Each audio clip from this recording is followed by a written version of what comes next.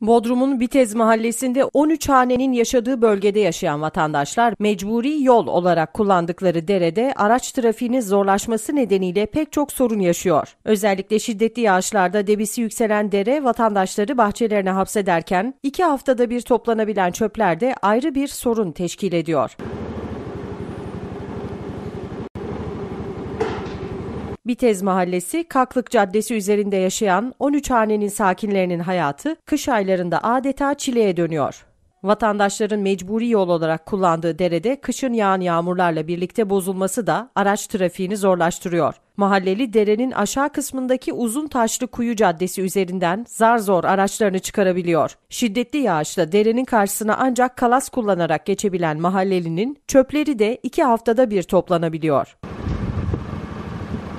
Bölgede yaşamını sürdüren Mustafa Sarıçakır yaşadıkları sorunları şöyle sıraladı. Dostum bak şey e, yol bozulduğu için adam içeri giremiyor. Yani çöp 10 gün oldu. 10 gündür burada tık yok. E, kedi köpek teşiyor, şu teşiyor, bu teşiyor.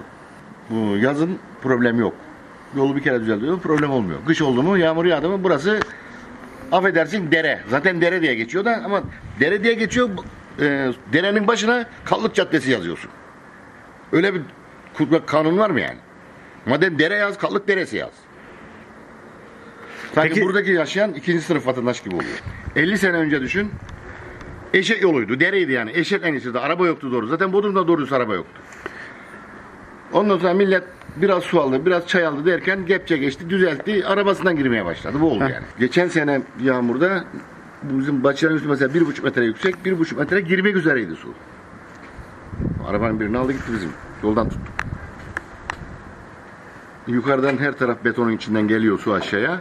Burada toprak sağ solu bir de önüne bir çalı çırpı tıkandı mı burası yükseliyor. Yani su kabarıyor. Önü tıkanınca ne olacak? Kabarıyor yukarıya. Karşıdan karşıya galas uzatıyoruz. Çocuklar okuldan geldiği zaman bahçe içinden geliyor oradan alıyorum buradan karşıya. Pat diye düşse şu anda ambulans ambulans girme şansı yok buraya. İtfaiyenin var mı? Ancak hayatta yangın olsa öyle bir şey yok. Ancak buraya helikopter gelir. Bölgede yaşamını sürdüren bir başka vatandaşsa benim evimde caddenin aşağısında şiddetli yağmur yağdığı zaman bahçeden dışarı çıkamıyoruz diye konuştu.